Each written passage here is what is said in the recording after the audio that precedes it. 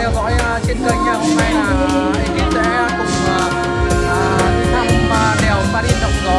ngày uh, lễ 2 tháng 9 chúng ta cùng đi khám phá xem uh, Parin Động Gió có gì